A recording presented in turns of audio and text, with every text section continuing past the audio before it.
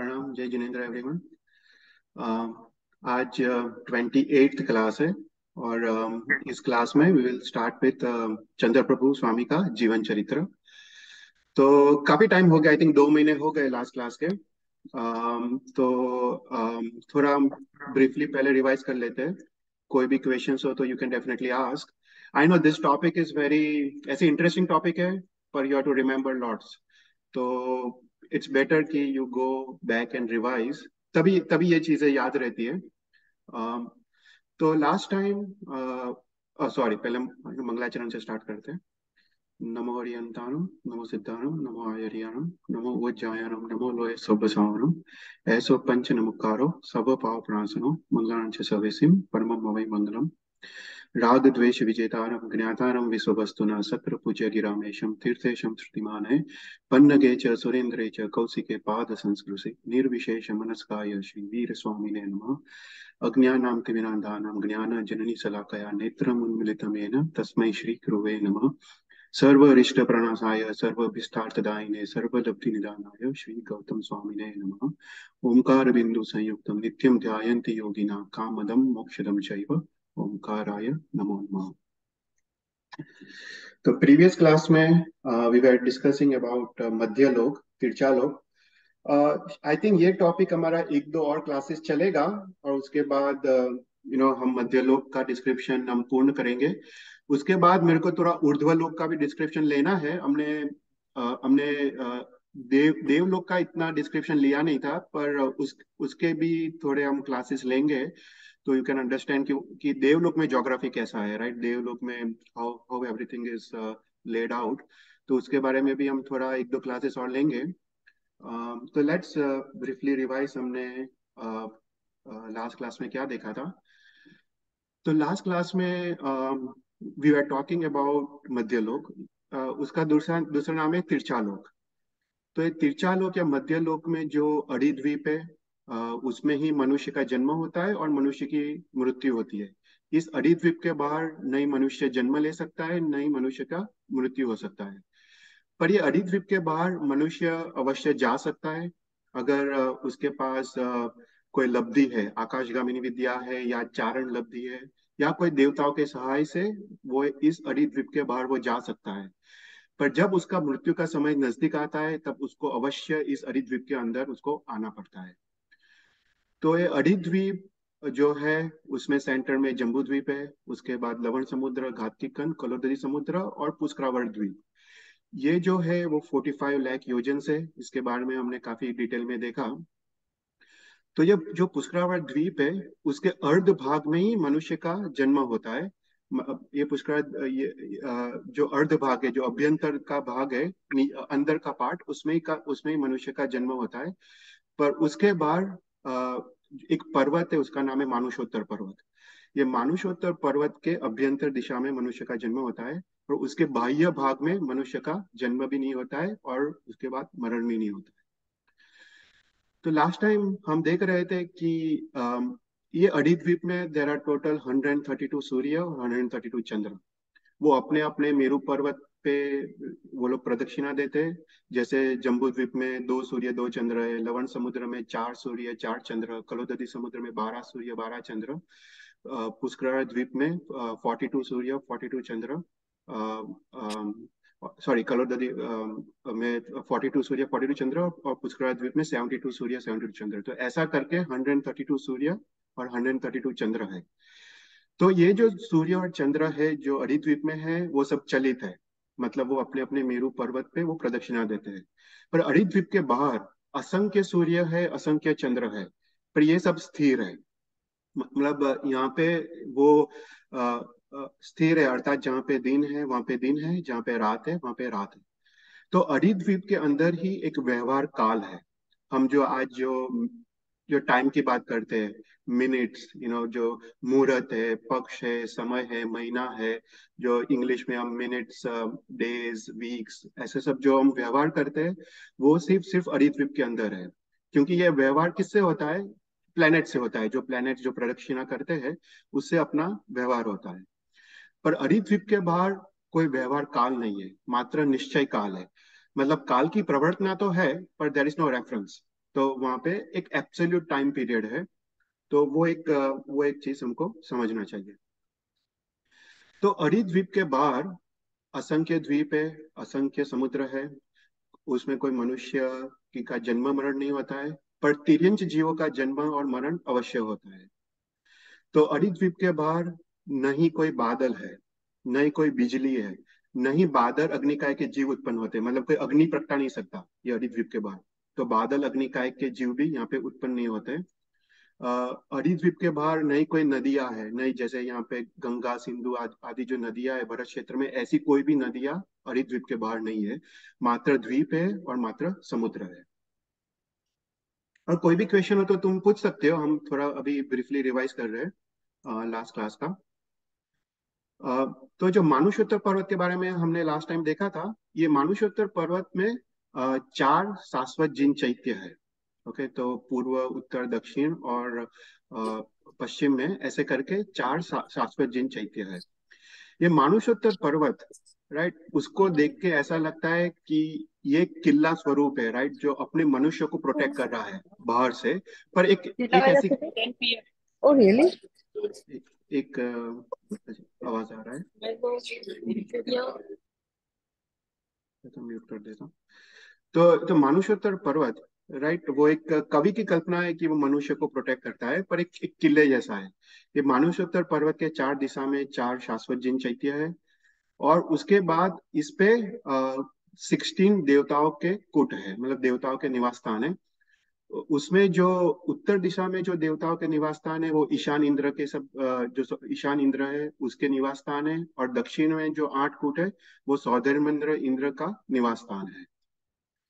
तो इसके बारे में हमने देखा था, ये मानुषोत्तर पर्वत, वो वो सिंह निषेधी आकार वाला है। मतलब जैसे सिंह जैसा बैठा हो, उसका जो स्वरूप आता है, उसका जो शेप आता है, उसका वो शेप जैसा मानुषोत्तर पर्वत है। फिर उसके बाद हमने देखा कि मानुषोत्तर पर्वत के बाहर, अरिद्वीप के बाहर, असंख्य द्वीप और समुद्र है। तो सेंटर में मेरू पर्वत, फिर जम्बू द्वीप, लवण समुद्र घाटकीकन कलोददी समुद्र पुष्करावर्त द्वीप पुष्करावर्त समुद्र फिर वाणुवर द्वीप वाणुवर समुद्र शीरवर द्वीप शीरवर समुद्र। ये हमने देखा जो शीर समुद्र है वो ये है। यहाँ से देवता भगवान के लिए पक्षाल का पानी यहाँ से वो लेके आते हैं। फिर ध्रुतवर द्वीप ध्रुतवर समुद्र इक्षुवर द्वीप इक्षुवर समुद्र। उसके बाद असंख्य द्वीप और समुद्र है और लास्ट में स्वयंभू रमण द्वीप और स्वयंभू रमण समुद्र। उसके बाद हम आ, देख रहे थे कि ये सब जो समुद्र है उसका पानी कैसा है राइट तो लवण समुद्र का पानी खारा है सॉल्टी है। उसके बाद जो वारुवण द्वीप है, उसका पानी वो दारू जैसा है। दारू मतलब जो मदिरा है, उसके, उसका, उसके स्वाद जैसा है। शीर समुद्र का पानी दूध जैसा है। ध्रुतवर समुद्र का पानी घी जैसा है। फिर इक्षुवर समुद्र का पानी, वो सेरडी का रस, उसमें अगर चार चीज़ मिला है, उसमें आता है तज, इलायची, केसर और मरी। ऐसा करके चार चीज़ जो मिला है, ऐसा जो स्वाद आता है, शिरडी के रस में तो ऐसा पानी का स्वाद है। और जो कलोददी समुद्र है पुष्कवर समुद्र है, और लास्ट में स्वयंभू रमण समुद्र है, उसका पानी का स्वाद निर्मल है। मतलब वो अमृत जैसा, उसका पानी है, उसका पानी मीठा है। और बाकी जो असंख्य द्वीप असंख्य समुद्र है, वो सभी का पानी का स्वाद इक्सु इक्सुवर समुद्र जैसा है। मतलब जो शेरडी का रस, उसमें जो चतुर्थ जातक जो मिक्स करते हैं, उसके जैसा पानी का स्वाद है। तो ये ये सभी समुद्र में, शास्त्र में लिखा है कि तीन समुद्र, जो लवण समुद्र अपना है, फिर नेक्स्ट जो कलोदरी समुद्र है, जो हरिद्वीप में है, और लास्ट में स्वयंभू रमण समुद्र। ये तीन समुद्र में सबसे ज़्यादा तिरंज के जीव, जो मत्स्य है, वो उत्पन्न होते हैं। तो लवण समुद्र में सात लाख कोड़ा कोड़ी मत्स्य है कलोदरी समुद्र में नौ लाख कोड़ा कोड़ी मत्स्य है और स्वयंभू रमण समुद्र में सबसे ज़्यादा साढ़े बारह लाख कोड़ा कोड़ी मत्स्य या तिरंज के जीव है यहाँ पे। फिर उसके बाद हम देख रहे थे कि कौन से कौन से द्वीप और समुद्र क्या, का डिस्क्रिप्शन शास्त्र में है राइट तो अपने शास्त्र में काफ़ी यू नो काफ़ी डिटेल में ये सब दिया गया है। यहाँ पे मैंने थोड़ा उसे एक्सट्रैक्ट किया है। पर हमको थोड़ी चीज़ें याद रहनी चाहिए। सब कुछ तो याद नहीं रहता पर थोड़े जो इम्पोर्टेंट जो द्वीप है वो हमको अवश्य याद रहने चाहिए। तो हर एक जो द्वीप समुद्र है वो डबल होते जाता है। जैसे जम्बू द्वीप एक लाख है लवण समुद्र दो लाख। घाट की कन चार लाख कलरदेवी समुद्र आठ लाख। तो ऐसे कर, करते करते इंक्रीज हो जाता है। तो इसमें जो एट द्वीप समुद्र है वो है नंदीश्वर द्वीप और नंदीश्वर नंदीश्वर समुद्र। तो ये बहुत इंपॉर्टेंट द्वीप और समुद्र है। इसके बारे में हमने लास्ट टाइम देखा था। हम वापस थोड़ा इस टाइम देखेंगे। पर ये सबसे one of the most important द्वीप और समुद्र है। तो जब हम ये तीर्थंकर चरित्र पढ़ते हैं, जब ये ये शास्त्र पढ़ते हैं तो इसका नंदीश्वर द्वीप का काफ़ी उल्लेख आता है। तो it's very important to know कि ये नंदीश्वर द्वीप है कहा। वो कहाँ पे है? उसका उसका जोग्राफी कैसा है? वो सब अगर हम जाने तो ये तीर्थंकर चरित्र में तुमको मज़ा आएगा। तो एट्थ जो है, वो नंदीश्वर द्वीप और नंदीश्वर समुद्र है। फिर उसके बाद अरुण द्वीप, अरुण समुद्र ऐसे करके फिफ्टींथ जो है, वो कुंडल द्वीप और कुंडल समुद्र है। आज हम इसके बारे में देखेंगे, कुंडल द्वीप के बारे में। तो ये सब जो द्वीप है, उसमें शाश्वत जैन चैत्य है। तो तो इसलिए ये सब इंपॉर्टेंट है। उसके बाद जो ट्वेंटी फ़र्स्ट है, वो है रुचक द्वीप और रुचक समुद्र। This is also very important क्योंकि यहाँ पे भी शाश्वत जिन चैत्य है। तो अड़ी द्वीप के बाहर तीन ऐसे द्वीप है जहाँ पे शाश्वत जिन चैत्य है। एक है नंदीश्वर द्वीप दूसरा है कुंदल द्वीप और थर्ड है रुचक द्वीप। तो आज हम ये दोनों के बारे में देखेंगे, कुंडल द्वीप और रुचक द्वीप के बारे में देखेंगे। तो हर एक का डायमेंशन वो डबल होते जाता है। उसके बाद जो फिफ्टी फ़र्स्ट जो दिया है शास्त्र में, वो है भुजक भुजक वरा वाव भास द्वीप और बुजक बरा भास समुद्र। उसके बाद असंख्य द्वीप और समुद्र है और उसके बाद सूर सूर द्वीप है सूर समुद्र फिर उसके बाद देव द्वीप देव समुद्र नाग द्वीप नाग समुद्र यक्ष द्वीप यक्ष समुद्र भूत द्वीप भूत समुद्र और लास्ट में स्वयंभू रमण द्वीप और स्वयंभू रमण समुद्र। तो ये सब नाम हमको शास्त्र में पाए जाते हैं। तो हम लास्ट टाइम क्वेश्चन हाँ बोलो। તમે લિસ્ટ બતાવ્યું ને એમાં જે પહેલા ત્રણ સમુદ્ર દ્વીપના નામ છે ને તો એ પહેલા ત્રણ મેચ નથી થતા સમુદ્ર સાથે બાકીના બધાના થાય છે તો ઇઝ ધેર એની સિગ્નિફિકન્સ કે આ એ ત્રણ આપણે નજીકમાં છે એટલે એને ના ના એટલે છે ને આમાં શું છે કે આપણે આ જોયું હતું કે આ જનરલી નામ नाम कैसे पढ़ते हैं जैसे जम्बू द्वीप का नाम कैसे पढ़ा है राइट जम्बू द्वीप का जो जो जम्बू वृक्ष है राइट हम्म, हम्म। उसका जो अधिष्ठायक देव है वो जम्बू देव है। जैसे घाटकी कंड में क्या है? सबसे ज़्यादा घाटकी वृक्ष है। और जो घाट घाट की वृक्ष के वृक्ष का जो जो पृथ्वीकाय में जो रत्नकाय जो वृक्ष है उसका जो अधिपति है वो घाटकी देव है। तो ऐसे करके ये सभी नाम पड़े हैं। अभी इसमें शायद देव सेमी होंगे ऐसा लग रहा है। मतलब मेरे को पता नहीं पर मैं अपना लॉजिक लगा रहा हूँ। किसी को कोई हम्म। आचार्य भगवान को पूछना पड़े।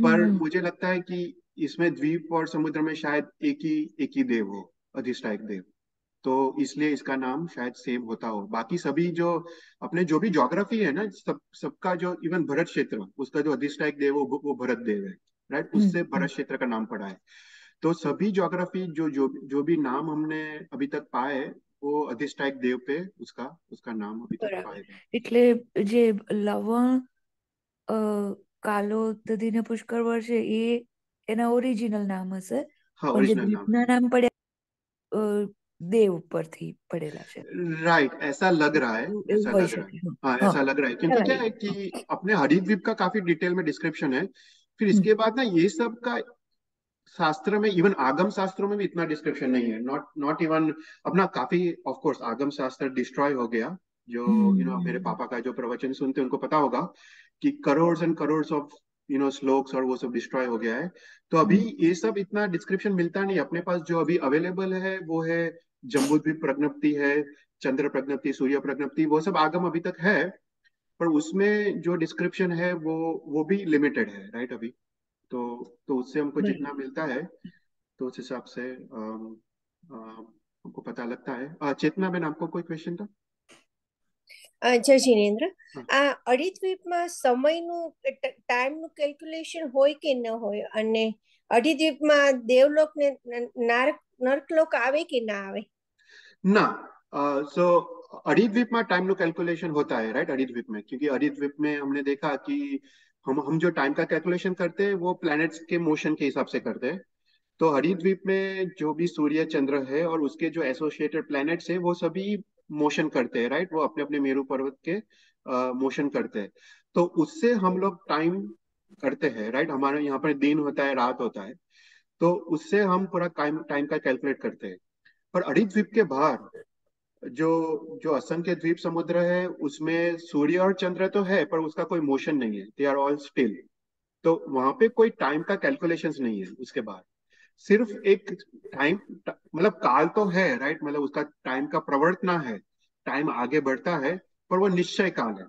मतलब उसका कोई रेफरेंस नहीं है। देर इज़ नो रेफरेंस तो इवन देवलोक और नारकी में भी निश्चय काल है। वहाँ पे वहाँ पे कोई टाइम का रेफरेंस नहीं है, क्योंकि वहाँ पे कोई ग्रह या सूर्य और चंद्र नहीं है, देवलोक में और नारकी में।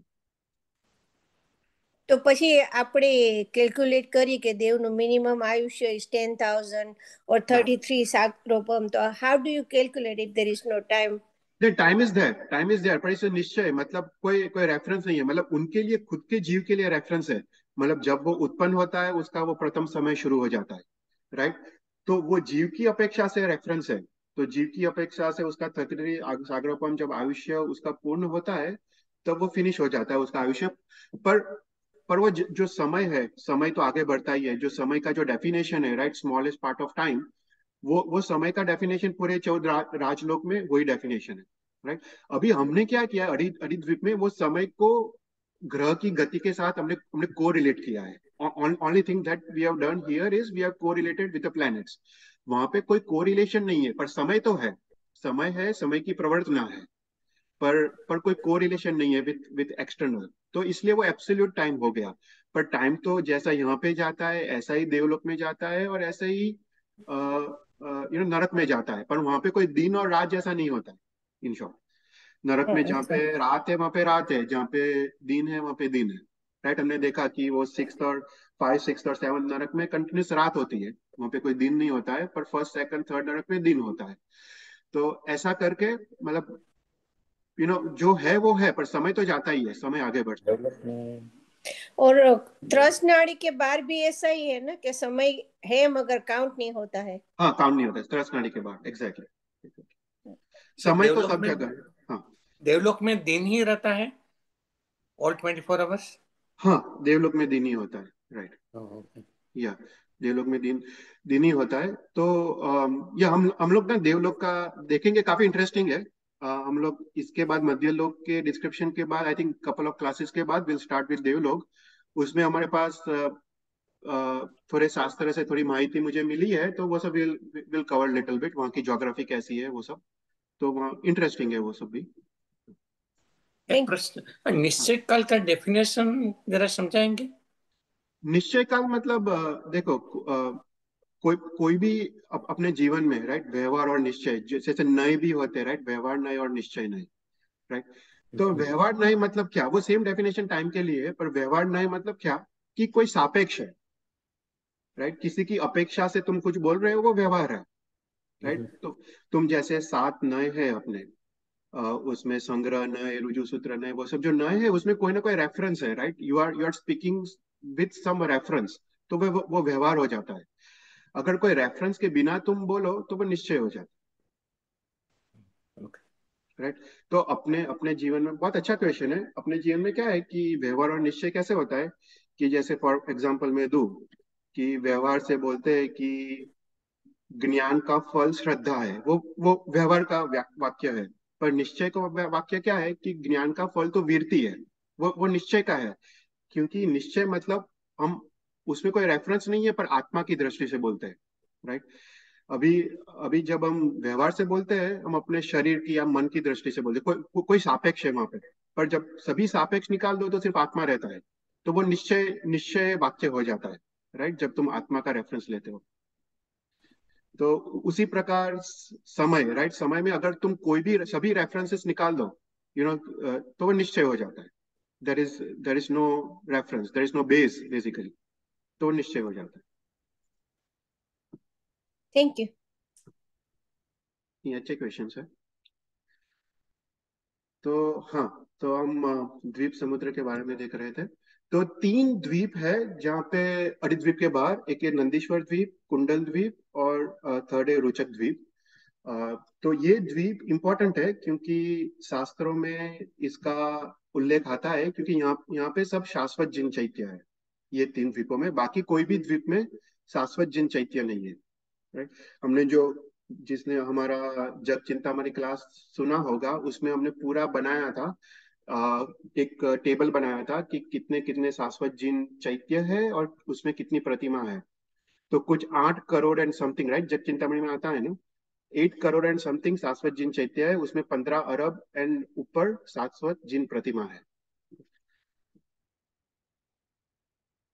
Okay. तो लास्ट टाइम हम नंदीश्वर द्वीप के बारे में देख रहे थे, हम थोड़ा ब्रीफली रिवाइज कर लेते। तो नंदीश्वर द्वीप, वो एट द्वीप समुद्र है। तो अगर इसको आप अपने जम्बू द्वीप के साथ कंपेयर करें, जम्बू द्वीप वो कितना था? एक लाख योजन विस्तार वाला था। ये 16 लैक्स 384 लैख योजन्स मतलब ये जो इसका डायमेंशन है राइट वो 16 लैख 384 लैख योजन्स मतलब जम्बू द्वीप से 16,384 बड़ा है। इतने टाइम्स बड़ा है जम्बू द्वीप से। तो इतना बड़ा ये द्वीप है नंदीश्वर द्वीप। तो नंदीश्वर द्वीप के दो अधिष्ठायक देव है। एक जो पूर्वार्ध में है और पश्चिमार्ध में है। पूर्वार्ध में जो जो अधिष्ठायक देव देव है उसका नाम है आई थिंक कैलाश देव है। या कैलाश देव। और पश्चिमार्ध में जो देव है, उसका नाम है हरिवाहन देव। तो उसके दो अधिष्ठायक देव है। और यहाँ पे नंदीश्वर द्वीप एक ऐसा द्वीप है कि उसमें सबसे ज़्यादा शाश्वत जिन चैत्य है, इसमें 52 52 शाश्वत जिन चैत्य है। तो इसलिए ये बहुत इंपॉर्टेंट द्वीप है। तो यहाँ पे चार दिशा में चार अंजनगिरी पर्वत है। अंजनगिरी वो अंक रत्न के बने हैं, ब्लैक ब्लैक स्टोन से बने हैं। तो ये चार दिशा में चार अंजनगिरी पर्वत है और इसके जो डायमेंशन है ना, वो हमने घाटकी कन का जो मेरू पर्वत देखा था, उसके सिमिलर डायमेंशन है। मतलब एटी फोर थाउज़ेंड योजन बड़ा है और उसका बेस टेन थाउज़ेंड योजन है तो ऐसे चार दिशा में चार अंजनगिरी पर्वत है, हर एक पे एक एक शाश्वत जिन चैत्य है।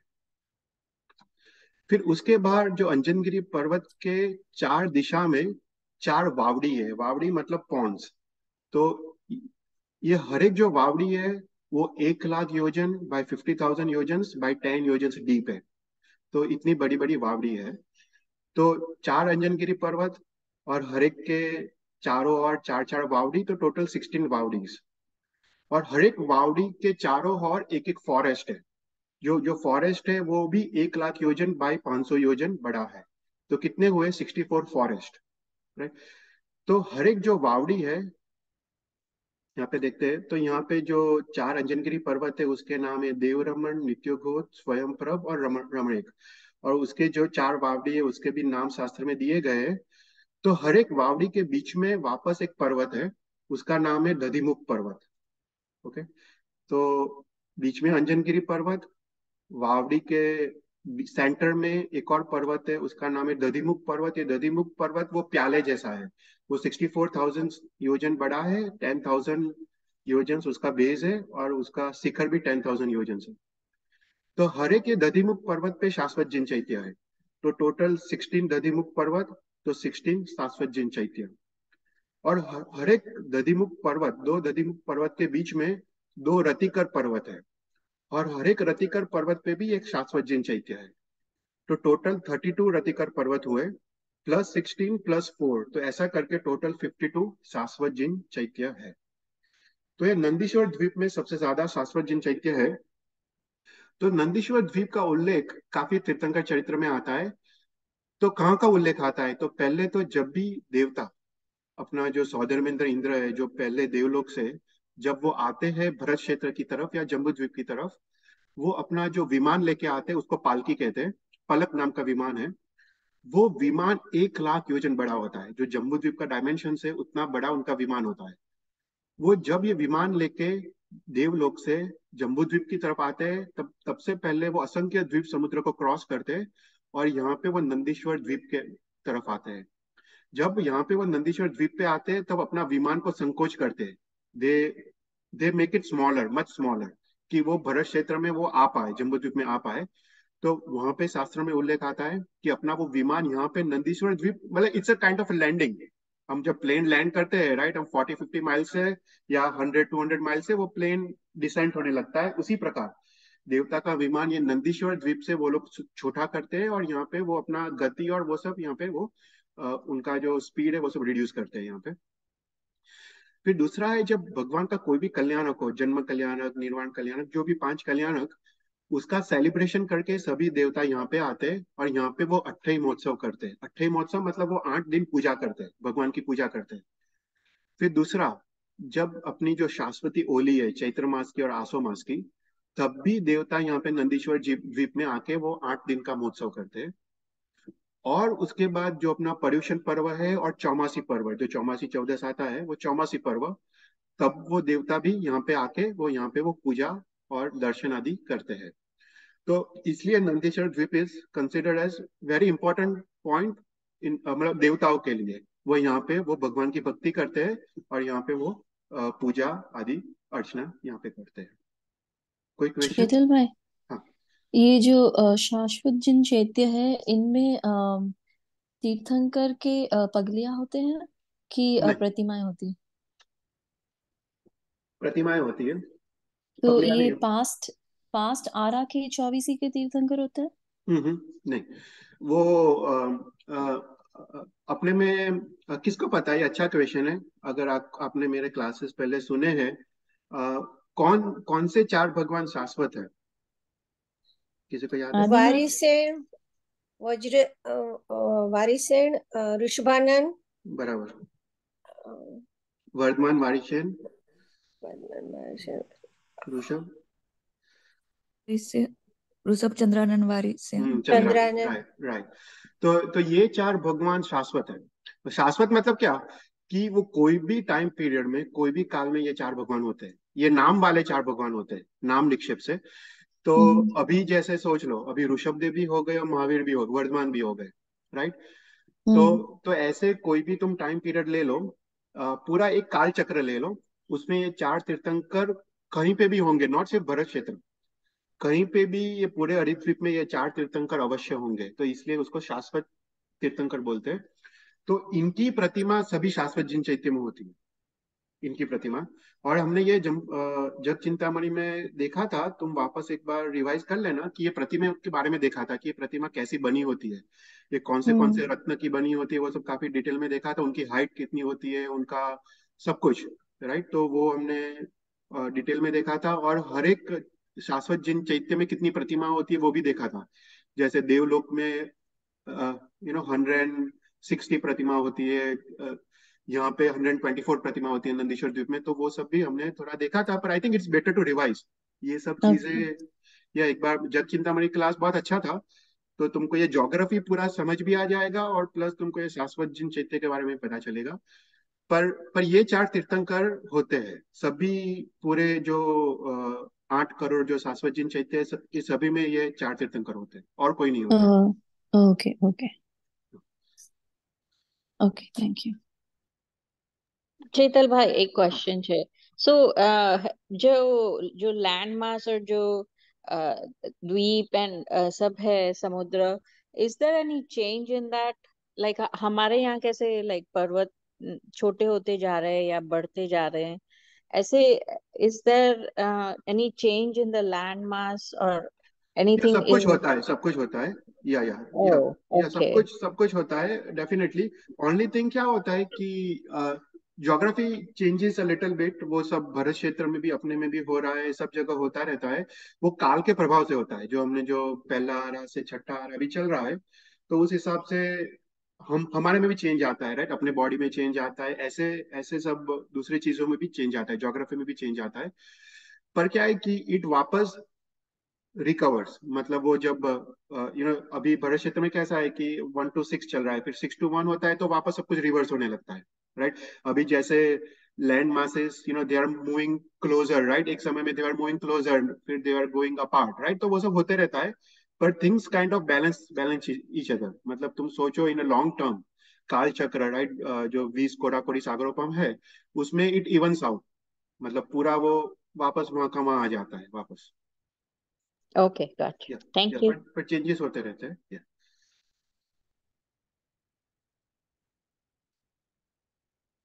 तो नंदीश्वर द्वीप के बारे में हमने देखा।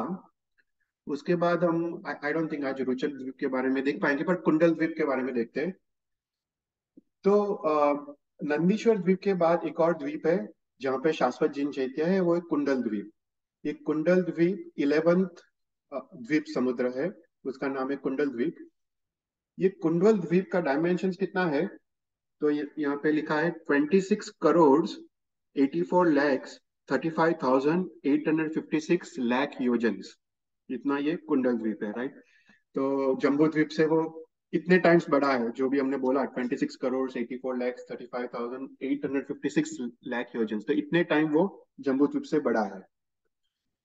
तो ये जो कुंडल द्वीप है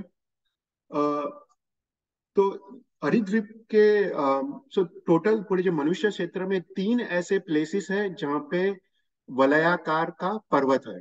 हमने एक देखा था पुष्कर द्वीप में, वो मानुसोत्तर पर्वत है, जो ऐसे राउंड है। मतलब पूरा जो ऐसे राउंड वलयाकार पर्वत है। उसी प्रकार कुंडल द्वीप में ये वलयाकार पर्वत है, और थर्ड है रुचक द्वीप, जो हम नेक्स्ट देखेंगे, वो रुचक द्वीप में वलयाकार पर्वत है। तो पूरे मनुष्य क्षेत्र में तीन ऐसे जोग्राफिकल लोकेशंस है, जहाँ पे ये ऐसे राउंड पर्वत है। तो ये जो कुंडल द्वीप है कुंडल का, ये जो पर्वत है उसका नाम है कुंडल पर्वत और एक कुंडल पर्वत पे चार दिशा में चार शाश्वत जिन चैत्य है। अभी जो ये शाश्वत जिन चैत्य है, उसके जो डायमेंशन है, वो नंदीश्वर द्वीप के ही जो जो शाश्वत जिन चैत्य है, वो सेम डायमेंशन है। वो हंड्रेड योजन्स उसका लेंथ है फिफ्टी योजन्स उसका विर्थ है और सेवेंटी टू योजन्स उसका हाइट है। और सभी ये जो शाश्वत जिन चैत्य है, वो सभी सिंह निषेधी आकार वाले हैं। मतलब हमने देखा था कि सिंह जैसा बैठा हो, उसी प्रकार के आकार वाले ये शाश्वत जिन चैत्य है राइट तो ये सिंह निषेधी आकार वाले शाश्वत जिन चैत्य है, और ये शाश्वत जिन चैत्य चार द्वार वाले है मतलब हर एक दिशा में एक एक द्वार है। तो यहाँ पे शास्त्र में ऐसा उल्लेख आता है कि कवि की ऐसी कल्पना है कि ये चार द्वार क्यों है? तो बोलते हैं कि कि मनुष्य, ये चतुर्गति जो संसार है, उसमें परिभ्रमण करके वो थक जाता है। और थकने के बाद जब वो ये शाश्वत जिन चैत्य में आता है, चार द्वार वाला, वो एक सूचक है कि चतुर्गति संसार से तुमको मुक्त होना है। तो यहाँ पे जो देवता आदि आते इवन मनुष्य जो आते हैं, यहाँ पे जो दर्शन आदि करते हैं, उनको एक एहसास होता है, उनको ऐसा भाव प्रकट होता है कि अभी आई एम टायर्ड अभी मैं थक गया हूँ ये संसार में परिभ्रमण करके, और मेरे को अभी मोक्ष में प्राप्ति करनी है। तो ऐसी एक शास्त्र में ऐसी ऐसा उल्लेख आता है कि इसके लिए यहाँ पे चार द्वार वाले शाश्वत जिन चैत्य है। कोई क्वेश्चन ओके हाँ बोलो। मनुष्य आज जगह पहुँची सके? हाँ हमने बोला ना कि हरिद्वीप के बाहर वो अपनी लब्धि के साथ पहुँच सकते हैं।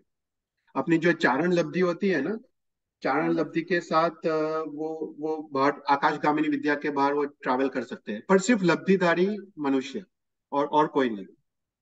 ओके थैंक यू या फिर फिर देवताओं के सहाय से कोई देवता अगर कोई मनुष्य को ले जाए कोई अपना फ्रेंड देवता हो और हम उसको बोले कि मुझे नंदेश्वर द्वीप या कुंडल द्वीप जाके मेरे को शास्त्र चैत्य को दर्शन करना है मुझे ले जाओ तो ले जाए डेफिनेटली ऐसे शास्त्र में उल्लेख आता है। तो अच्छा। हाँ तो देवता ले जा सकते हाँ, अपना कोई ऐसा फ्रेंड ढूंढना पड़ेगा। हाँ ज़रूर से। हमको भी मिला देना। हाँ, मुझे मिले तो डेफिनेटली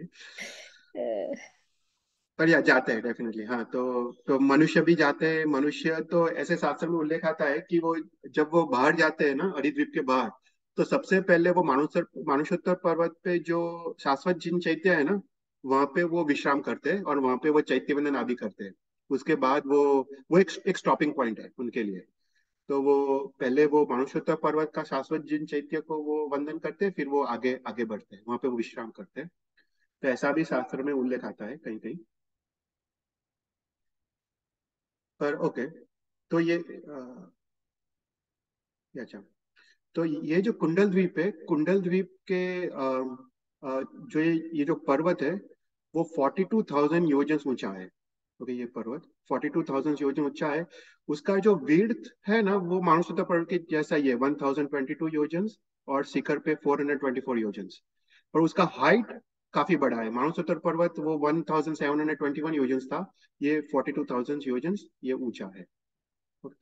फिर उसके बाद ये कुंडल द्वीप के अभ्यंतर एरिया में ये जो अभ्यंतर एरिया है ना उसमें चार पर्वत है। यहाँ पे चार पर्वत है।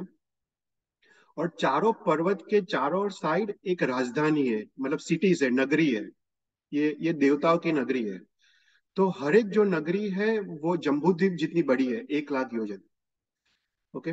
तो टोटल ऐसे करके आठ पर्वत है, चार उत्तर में और चार दक्षिण में, और चारों दिशा में एक एक एक नगरिया है। तो टोटल कितनी? थर्टी टू नगरिया है। तो उसमें जो उत्तर जो उत्तर की है, देखो अभी ना ये ज्योग्राफी में एक चीज़ समझना चाहिए कि हर एक जो ज्योग्राफी जो उत्तर में होती है वो ईशान इंद्र की होती है। हर एक जो साउथ में होती है वो सौधर्मेंद्र इंद्र की होती है। ईशान इंद्र मतलब सेकंड देवलोक के जो इंद्र है और जो सौधर्मेंद्र इंद्र मतलब फ़र्स्ट देवलोक के इंद्र है। तो दक्षिण में जो भी आए इवन हमने भरत क्षेत्र के बारे में जब देखा था, हमने देखा था कि दीर्घ वैद्याद्य पर्वत पे जो नगरिया है हंड्रेड एंड टेन जो विद्याधर की, उसमें जो साउथ की है वो सब सौदर्न में इंद्र और जो नॉर्थ की है वो ईशान इंद्र। तो हर एक जोग्राफी में सेम का सेम रहता है तो तुमको याद रखने में इजी होगा। तो उत्तर में जो भी है, वो सौदर्न में इंद्र इंद्र की नगरिया है, और जो दक्षिण में है, वो ईशान सॉरी उत्तर में ईशान इंद्र की नगरिया है, और दक्षिण में सौदर्न इंद्र की नगरिया है। तो जो शास्त्र में ये सब के नाम आदि भी दिए गए तो जो चार पर्वत है राइट जो उसके नाम है सोमप्रभ। सोमप्रभ यमप्रभ वैष्णवमन और वनुप्रभ। ऐसे करके चार पर्वत है और दक्षिण में भी सेम चार नाम के चार पर्वत है। और उसके बाद हर एक पर्वत के चार दिशा में चार राजधानी है। तो जो पहला जो सोमप्रभ पर्वत है उसके जो चार राजधानी है वो सोमा सोमप्रभा शिव प्रकारा और नलिना। फिर दूसरा जो यम प्रभ है, उसके चार दिशा में है, विशाला अति विशाला स्वप्रभा, अमृता। ऐसा करके जो थर्ड पर्वत है वैश्रम प्रभ।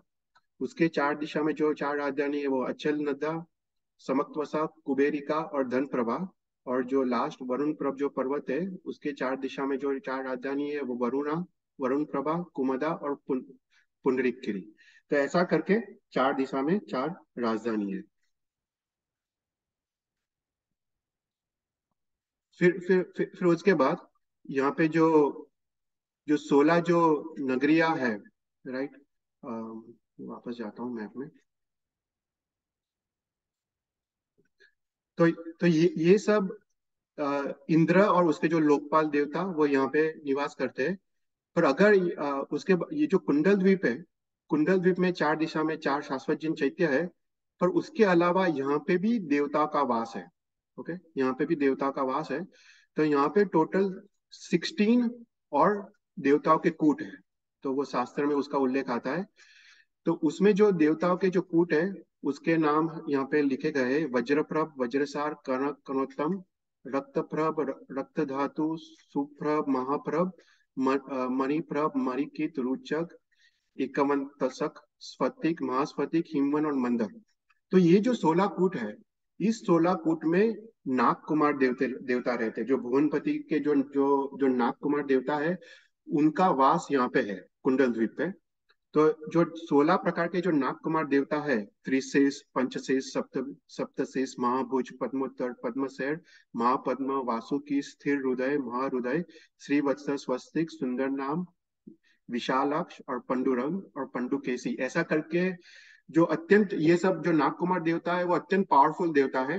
वो ये नाग कुमार देवता का वो यहाँ पे कुंडल द्वीप पे, यहाँ पे जो सोलह जो कूट है, जो कुंडल पर्वत पे, यहाँ पे उनका निवास स्थान है। कोई क्वेश्चंस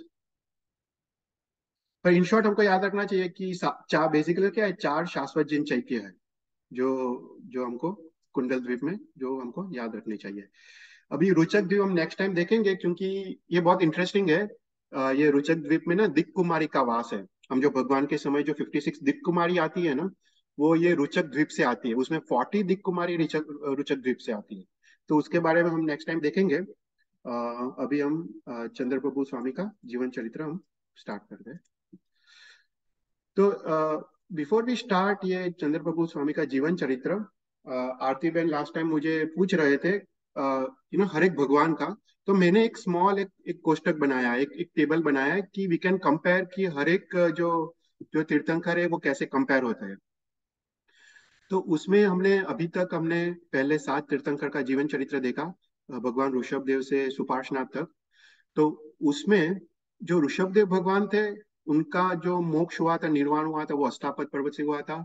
बाकी सात तीर्थंकर का निर्वाण समेत शिखर से हुआ था। राइट तो वो हमको याद रखना चाहिए कि भगवान ऋषभ देव का अष्टापद से हुआ था। उसके बाद हमने देखा कि उनका हाइट राइट ऋषभ देव का 500 धनुष्य था अजित नाथ का 450 फिर उसके बाद 400 तो ऐसा करके 50 50 धनुष्य कम होते जा रहे हैं। तो सुपार्शनाथ भगवान का जब जीवन चरित्र देखा, वो 200 धनुष्य था। अभी आज हम चंद्रबाबू स्वामी का देखेंगे, वो 150 धनुष्य तो समथिंग यू कैन रिमेम्बर 500 धनुष्य से लेके हम लोग अभी 150 धनुष्य उनका हाइट है। फिर उनका आयुष्य 84 भगवान ऋषभ देव का 84 लाख पूर्व, फिर उसके बाद अजीत नाथ का 72 लाख पूर्व, ऐसे ऐसे करके अभी चंद्र प्रभु स्वामी का 10 लाख पूर्व उनका आयुष्य है। किसी को पता एक पूर्व अर्थात क्या? जस्ट अ क्वेश्चन एक पूर्व मतलब कितने इयर्स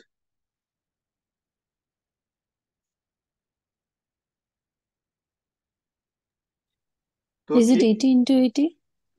नहीं नहीं eighty four multiply by eighty four नहीं नॉट नॉट क्लोज बहुत बहुत बड़ा नंबर है।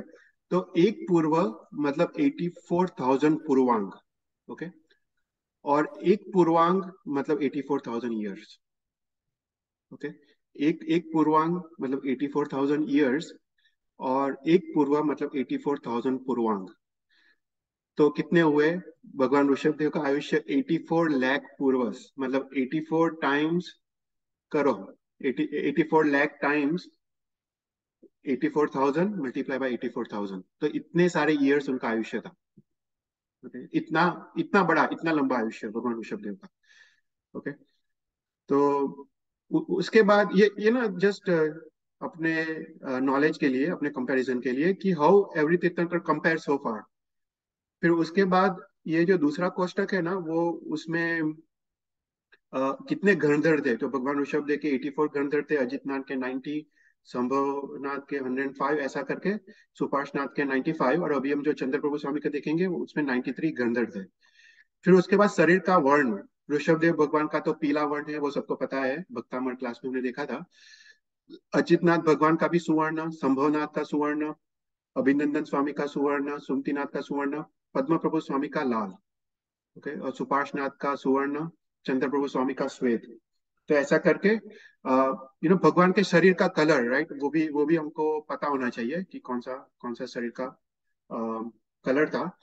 फिर उसके बाद ये मैंने आ, बनाया ये ना कहीं पे भी अवेलेबल नहीं है ये इन्फॉर्मेशन पर अपने जीवन चरित्र से ही लिया। तो तो दो तीर्थंकर के बीच में कितना टाइम पीरियड पसार हुआ?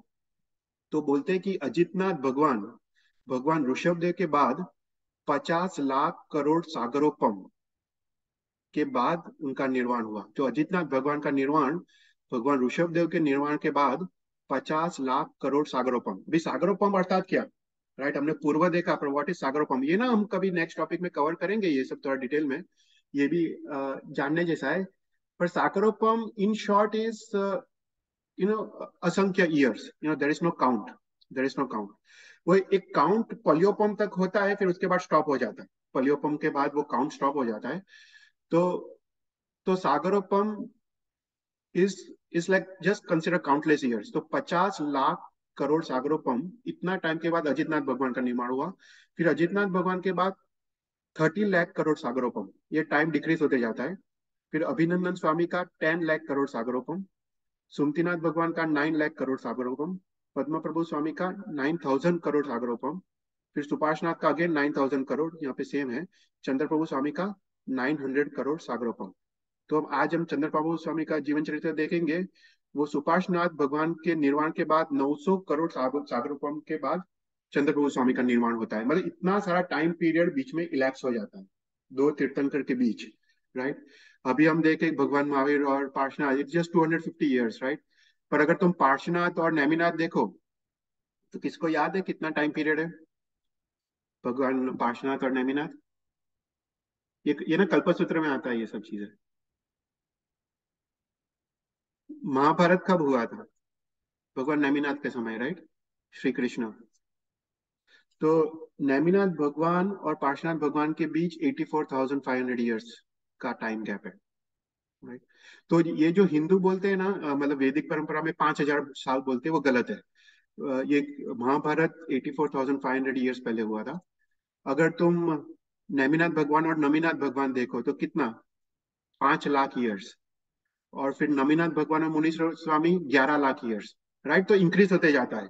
अब you know from 250 years to 84,000 years to 5 lakh years to 11 11 lakh years तो यहाँ पे अगर देखो तो 900 करोड़ सागर तो इतना इतना टाइम पीरियड इलेक्स हो गया है दो तीर्थंकर के बीच में। तो समथिंग uh, मेरे को सिर्फ़ uh, हाँ। चेतल भाई अगर है ना ये सारे तो तीर्थंकर भगवान इसी अवसर पिनी में हुए थे राइट हम्म। तो फिर हर अवसर पिनी के सिक्स का छह ये होते हैं काल चक्र आरा। हम्म हम्म हम्म। आरा। तो फिर हर आरा इतनी थाउज़ेंड इयर्स का तो नहीं था राइट कित, कितना तुम तुम बोलो कितने का है हर एक आरा फ़र्स्ट आरा कितना कितना है? Is okay i'm not sure but is it 21 or 23000 years? नहीं वो तो सिक्स है।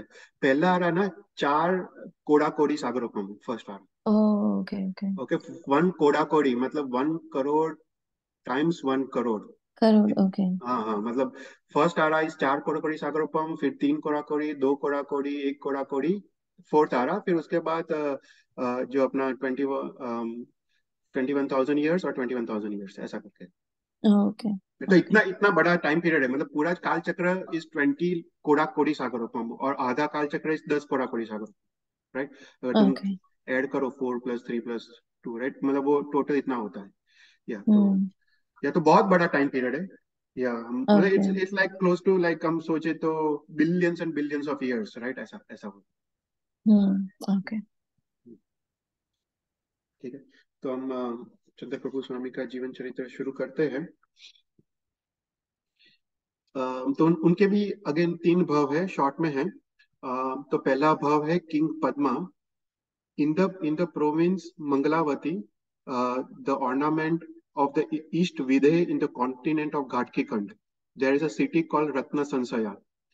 In this city, there was a king named Padma, exceedingly powerful, attended always by musicians who performed divine concerts, surrounded always by mantris, always distinguished by the beauty of the body, adorned with beautiful ornaments and garments, his command observed by kings day and night. His treasury was never exhausted. His subjects always prosperous. With no sorrow in his kingdom, he attained disgust with the sansar. Under Guru Yug- Yugandhar, he took Diksha for destroying sansar. Taking many abhigrahas, he subdued his senses. Free from desire, he observed Char Mahavrats for a long time. He acquired Tirthankar Nam Karma, which is very difficult to acquire by aradhana of some of the stha- sthanaks. The great Muni completed his life and went to Anuttar Viman call Vijayanta तो पहला भाव में वो king Padma था, उन्होंने दीक्षा लिया उन्होंने उत्तम आराधना की और वो दूसरे भाव में वो अनुत्तर विमान जो अपना सबसे उत्कृष्ट जो विमान है थर्टी थ्री साकरोपम आयुष्य वाला। फिर उसका थर्ड भाव, चंद्र प्रभु स्वामी का। नाउ इन द भरत क्षेत्र इन दिस जम्बू द्वीप there is a city Chandranand resembling the face of the earth In this city shines a row of shops with jewelries, and there are houses of various shapes and colors. In its Udyan are seen Labdhidhari Mahatma engaged in Pratima, motionless from foot to head, like, uh, like mountains in form of man. In this city, Mahasen, by whose army the earth was covered, was the king. While he was in command, uh, while, uh, while he whose command was never transgressed was ruling the earth. The, the people, the people on earth desisted from any anuchit kriya like chori and so on.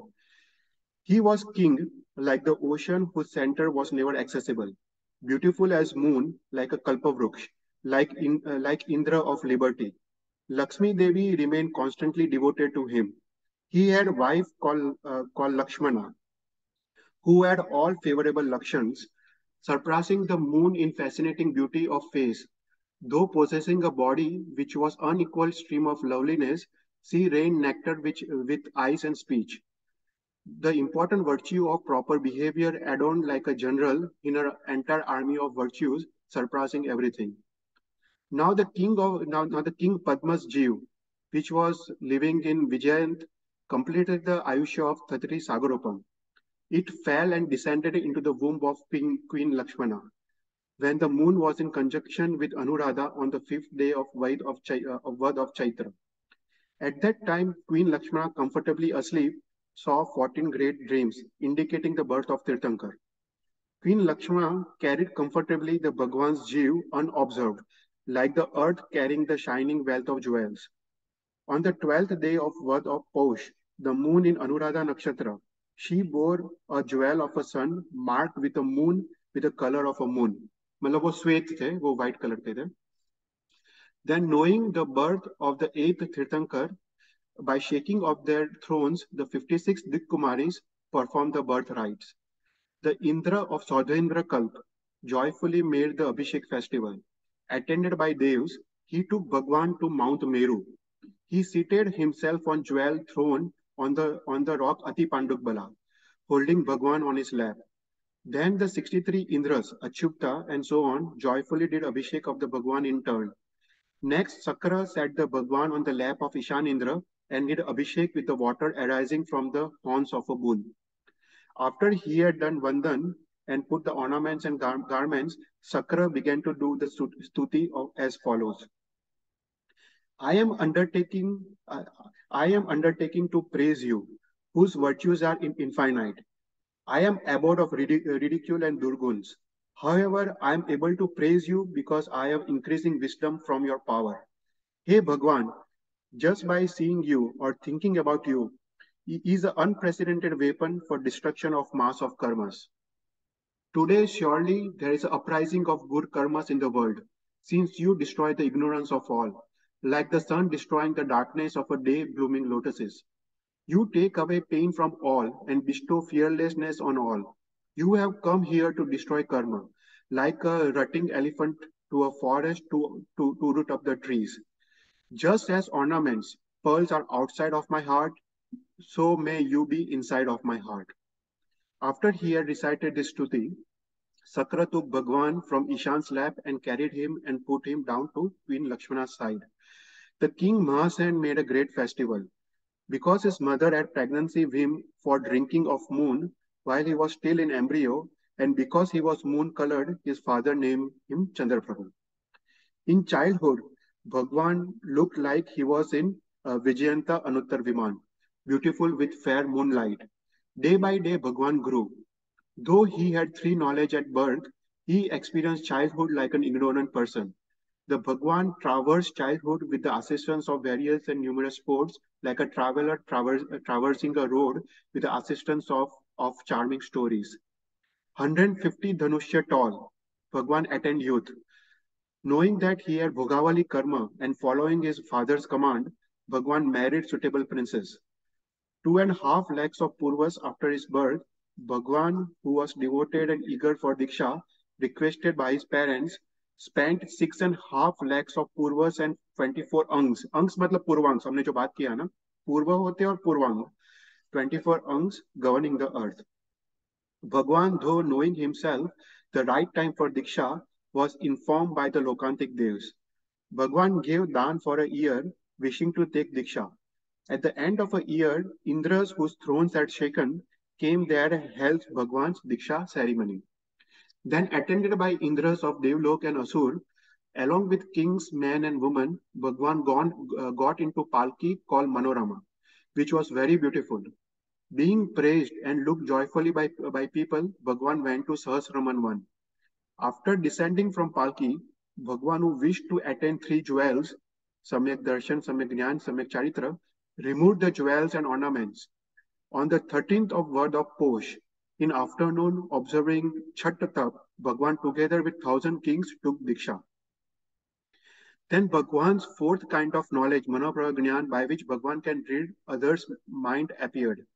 Next day, Bhagwan broke fast with kheer at the house of King Somdatta in Padma Kandakpura.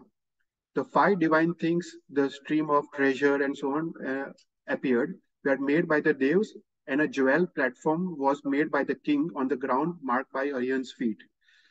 Undefeated by the mass of snow that had defeated the heat of the sun, unshaken by the winds that uh, and bad weather, his dhyan, which, which was unequaled, making no distinction between going into the forest, uh, terrifying with animals such as lions and tigers, and staying in the city filled with lame and solitary, free from affection, silent, free from all possessions, devoted to dhyan, Bhagwan wandered over the earth for three months as sadhu. In his wandering, the Bhagwan again went to Sahasraman 1 and stood there in Pratima under a Punangat tree. Bhagwan's Ghati Karma disappeared at the start of second state of Sukla Sukladhyan, like snow disappearing at the end of winter. When Bhagwan had fasted for two days, his Kevalgnan arose on the seventh day of Falgun, the moon being in conjunction with Radha Nakshatra. The Indras of Devs and Asurs made, made at once a Samosaran, a yojan in size, for Bhagwan's Deshna. Purifying his, his footsteps, the nine golden lotuses which were moved in succession by Devs, by Devs, Bhagwan entered the Samosaran by the east door. Bhagwan did pratik, uh, pradakshina of Chaitya Vruks three times and said Namo Tithasa. Chaitya Vruks was 1,800 Dhanusya tall and seated himself facing east on the jewel lion throne. The Chaturvid sung uh, and the Devs and Asurs entered by proper, proper doors and stayed in proper places. Sakra bowed to Bhagwan and began to do the stuti of Bhagwan. By my good fortune, you have been first possessing three kinds of knowledge, then Manopragyan and now Keval each superior to the other. May this knowledge of yours, called Keval Gyan, be beneficial to all, like the shade of a tree on the road. There is darkness, so long there is no sun. There is there are rutting elephants, as long as there is no lion. There is poverty, as long as there is no kalpavruksha. There is scarcity of water, as long as there is no rain. There is heat of the day, as long as you don't see the full moon. There are people here with wrong belief, so, so long as you are not seen. Even though I am negligent because of my pramad, I applaud those by whom you are constantly seen and served. Now by your krupa, may, may my Shayak Samyak, Shayak Samyak Darshan result from the sight of you. After this praise, Sakra became silent and Bhagwan began Deshna in a voice deep as thunder. This sansar is filled with endless troubles, continuously destroying the Jews of Urdhvalok, Adholok, and, and Madhyalok. Attachment to the body, like that of worms to impurity, is cause of this. The body is an abode of flesh, uh, blood, flesh, fat, and bone, and waste products. Where is any purity in our body? The body constantly discharges from nine channels.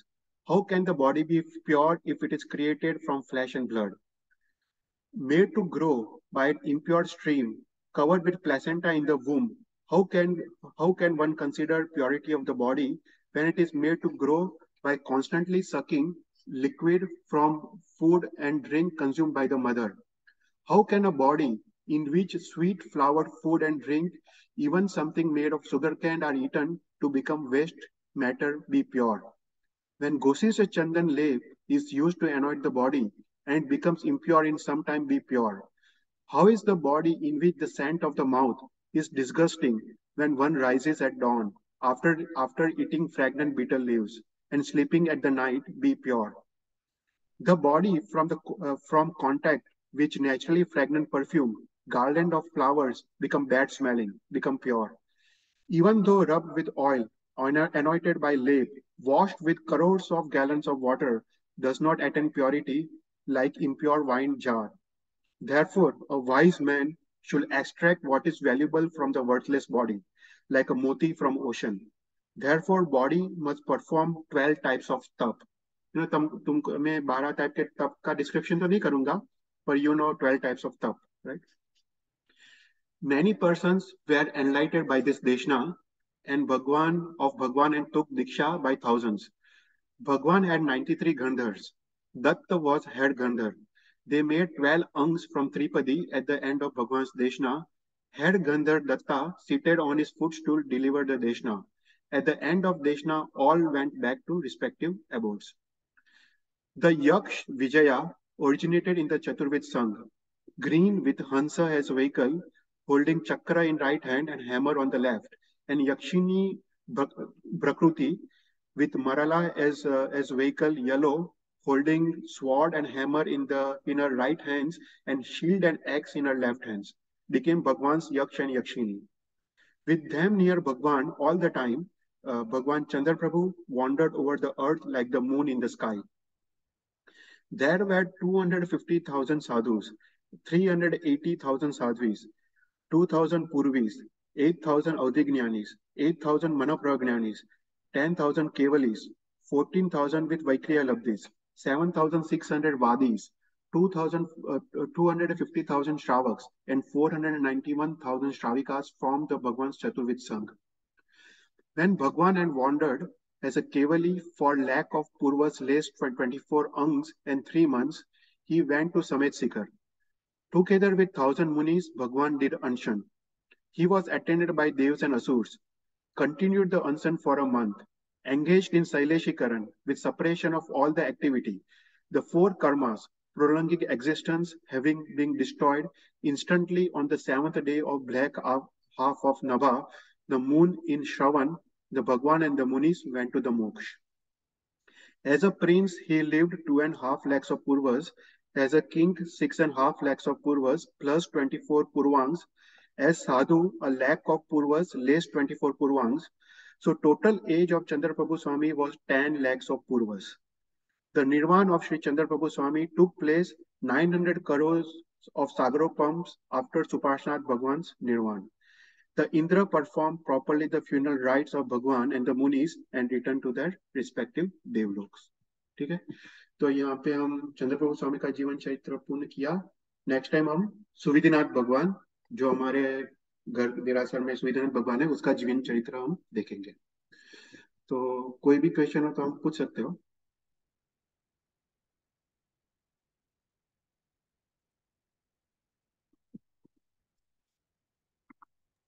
चेतन भाई? This might be silly question लेकिन uh, जैसे ऋषभ देव शाश्वत uh, भगवान है right तो ऋषभ देव तो इसी um, अवसर पिनी में तीर्थंकर बने।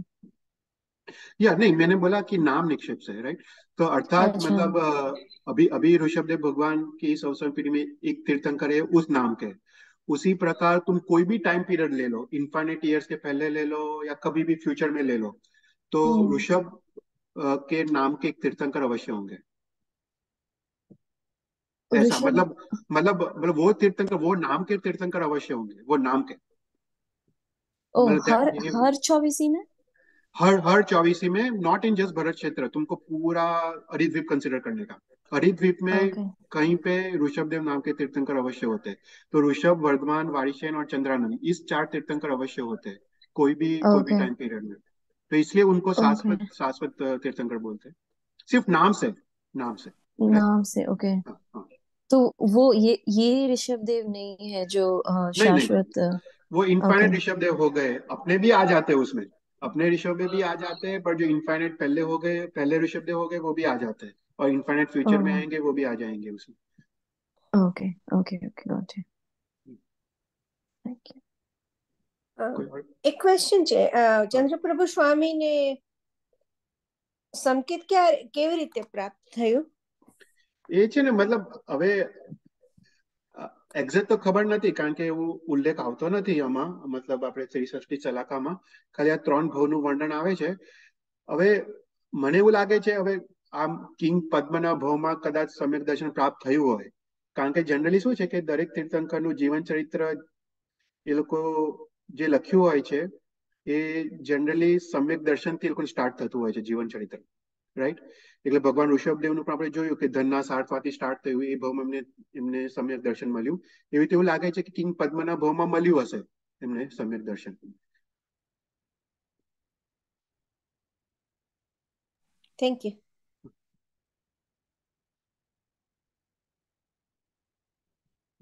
ओके तो कोई क्वेश्चन नहीं हो तो स्टॉप करते एक नौ कार्ड गिन लेते नमो నమో అరియంతానం నమో సిద్ధానం నమో ఆయుర్యానం నమో వజ్రాయానం నమో లోయ శోభ సావనమే సో పంచనముఖారు శోభ పాపనాసురం మంగళారం చేసేసి పరమై మంగళం జీనాగ్ని విరుగు థ్యాంక్ యూ అమ్మ థ్యాంక్ యూ చైతల్ బాయ్ థ్యాంక్ యూ నమో నమో థ్యాంక్ యూ థ్యాంక్ యూ